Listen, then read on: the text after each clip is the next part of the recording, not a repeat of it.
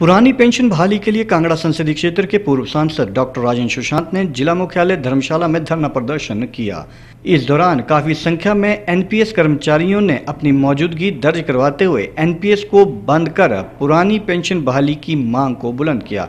Doctor Rajendra Sushant ने कहा कि प्रदेश सरकार विधानसभा सत्र के बीच पुरानी पेंशन बहाली का नोटिफिकेशन जारी करे। जब तक इसकी नोटिफिकेशन जारी नहीं होती है, तब तक प्रदेश के पूर्व विधायकों और पूर्व सांसदों को भी एनपीएस में डाला जाए। सुशांत ने कहा कि मैं यहाँ पर कुछ मांगने नहीं, बल्कि एनपीएस कर्मियों को उनके अधिकार दिलवाने आया हूँ। पुरानी पेंशन स्कीम कर्मचारियों का हक है, जो उन्हें मिलना चाहिए। इसके लिए हर संभव कदम उठाए जाएँगे।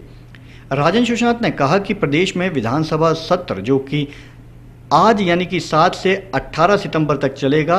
उसमें मुख्यमंत्री से वे आग्रह करते हैं कि इन दिनों में नोटिफिकेशन निकाले और पुरानी पेंशन को बहाल करें। मैं मांगने नहीं आया हूँ। मैं तो अधिकार प्राप्त करने के लिए आया हूँ।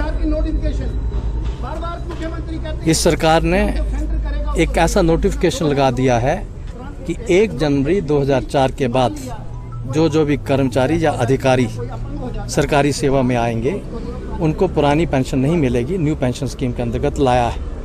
और जो इनका अपना पैसा है, वो भी प्राइवेट कंपनियों को आगे दिया जा रहा है, इनको अपना पैसा भी वापस नहीं मिलता है। इसलिए मैंने शिमला में ही मांग की थी 6 अगस्त को कि आप जल्दी से जल्दी ये पुरानी पेंशन बहाल करें। और जब तक आप ये बहाल नहीं करते हैं, तब तक ये न्यू पेंशन स्कीम का नियम अपने हिमाचल के पूर्व विधायकों पर भी लागू करें। तो उनको भी एनपीएस के अंदर ही पेंशन लेनी चाहिए। हालाँकि मैं इस स्कीम में नहीं आता हूँ, मैं तो उन्नीस सौ बयासी का एम हूँ, लेकिन मैं नैतिकता के आधार पर 5 अगस्त 2020 से ही पूर्व विधायक के तौर पर भी और पूर्व सांसद के तौर पर भी अपनी पेंशन लेना बंद कर दिया है। और इस बारे में मैंने लोकसभा अध्यक्ष जी को भी, विधानसभा अध्यक्ष जी को भी, प्रधानमंत्री जी को भी, मुख्यमंत्री जी को भी और सारे संबंधित अधिकारियों को पत्र भी भेज दिए। तो उस दृष्टि से हमारी ये हक बनता है कि सरकार करे।